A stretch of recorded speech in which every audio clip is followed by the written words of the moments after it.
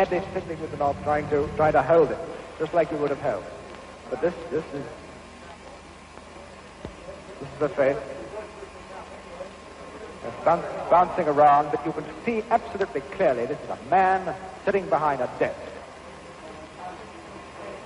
Uh, I, I think he's talking.